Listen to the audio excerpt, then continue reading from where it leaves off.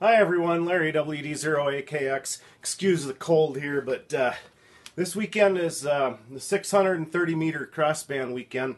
Uh, a lot more activity than normal, even though conditions aren't that great here tonight on the band. 630 meters, where experimental stations are only allowed to operate yet. Hams haven't been uh, allowed to operate there unless they have an experimental license, but that's all coming.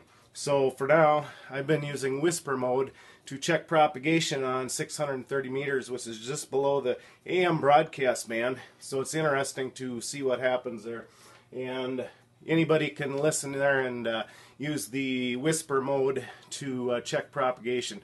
But the experimental stations are on the air, and tonight they're using other modes such as CW. I was able to copy one CW station in Texas, and I live in Minnesota.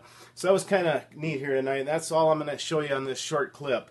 The station I was able to copy is uh, experimental station WG2XIQ in Texas. His ham call is KB5NJ D. So let's take a look here. I have been copying several stations in whisper mode, digital mode on this band, but this is some CW tonight.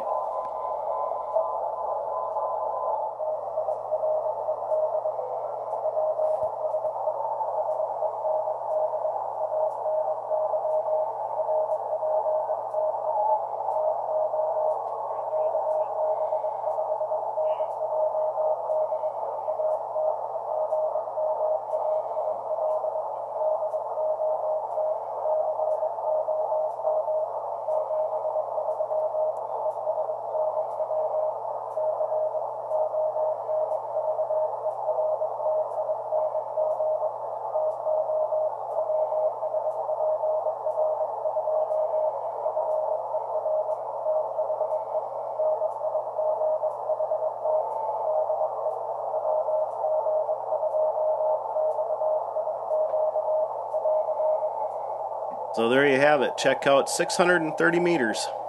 73 WD0AKX.